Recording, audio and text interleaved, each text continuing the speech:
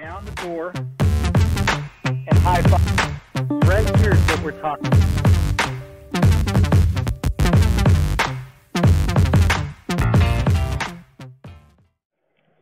We're going to work on the structure of how we swing our clubs. Okay. And we're going to use feel, okay?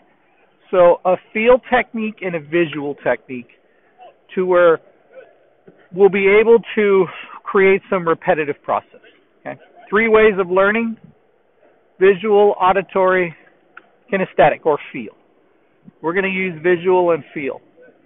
Right now I'm using auditory, so we're actually touching all three. What we want to do today as our goal. Visually, I'm going to show you how we do this. What we're going to do is we're going to use letters to describe the shape of this of our golf club and arms when we swing. So what I'm doing right now is I'm holding the club and my arms and golf club are are shaped into a letter Y, aren't they? See that? Letter Y. And we're going to start out with 10 balls trying to create and maintain the letter Y for 10 balls. And this is what it's going to look like.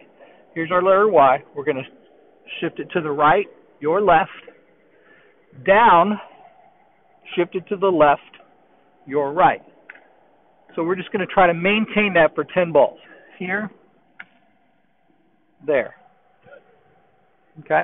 10 shots maintaining the letter Y.